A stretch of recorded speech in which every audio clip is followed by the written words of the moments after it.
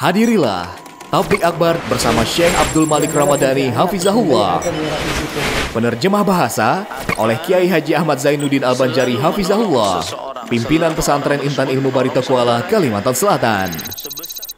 Waktu dan tempat pelaksanaan Kamis 27 Jumadil Akhir 1444 Hijriah atau 19 Januari 2023 bertempat di ruang utama Masjid Umar bin Khattab, Pesantren Intan Ilmu Barito Kuala, Kalimantan Selatan.